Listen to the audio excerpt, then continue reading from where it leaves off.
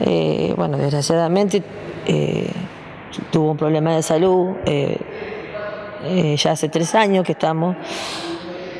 Andábamos dentro, de todo, andábamos medianamente bien.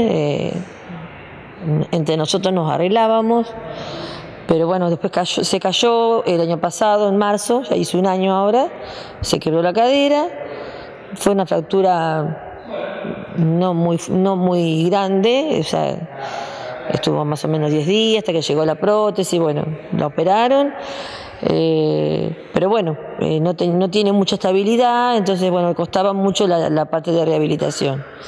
Ella necesitaba una, una- rehabilitación con una internación como la que había tenido.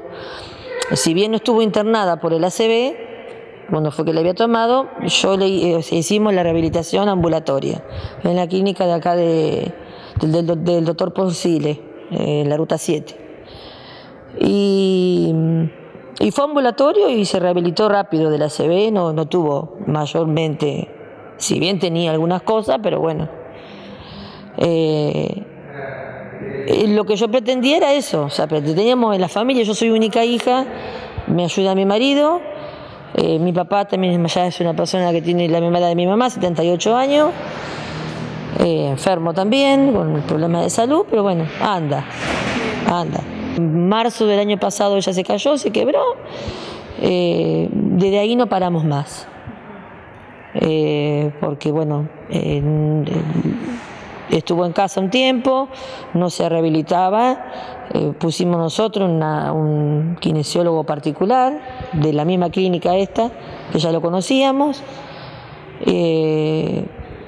pero en un momento me dijo, esto si no se interna, o sea, porque estaba quedando en la cama y era como que ya se estaba lastimando, ya se estaba eh, viniendo muy abajo ella, viste, en la alimentación, no quería comer, era como que se, estaba muy angustiada, viste, por todo lo que estaba pasando. O sea que ella necesita internarse sí o sí para poder rehabilitarse de esta fractura de cadera. Ella lo que necesita, eh, y me lo dijo otro traumatólogo, porque ella quiso ir a, a su traumatólogo, que te- lo conoce, de otro, de otro accidente que tuvo, y yo la, la llevamos con eh, en todo lo que implica trasladarla, porque ella está- en silla de rueda ahora.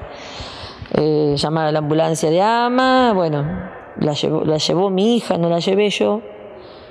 Y eh, bueno, el doctor dijo, esto dice, no es que no pueda caminar, es que lo que necesita ella es una rehabilitación más enérgica, de una clínica donde tiene aparatologías.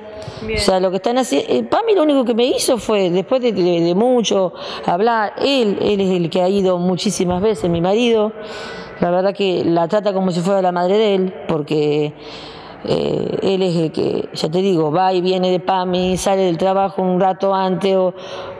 de- ¿Qué pasa con Pami? ¿No se hace cargo de la internación? PAMI te da vueltas. Eh, un día te dice una cosa, otro día te dice otra, toma, llena estos papeles, va el doctor de cabecera, lo llena, ya está cansado el doctor de llenar papeles, hasta vergüenza nos da ir a decirle, doctor, necesitamos otro formulario. Bueno. Bueno, se hizo todo el trámite para la internación domiciliaria, que supuestamente iba a ser algo. Bueno, la O internación. sea, la iban a ir rehabilitar en la casa. Sí. El, eh, el doctor pidió ocho horas de cuidador, porque yo, bueno, lamentablemente yo no lo iba a decir, pero bueno, yo me enfermé y yo no me puedo hacer cargo en el, en el sentido de, de cambiarle los pañales y de... Y de Está bien, uno hace lo que puede como hijo, ¿no? en este caso tiene eh, su obra social que es PAMI, que debería hacerse cargo también de, de ciertas cosas que tu madre necesita. Sí. Eh, lo hice, cuando pude lo hice. Eh, pero bueno, después me lo prohibieron los médicos a mí.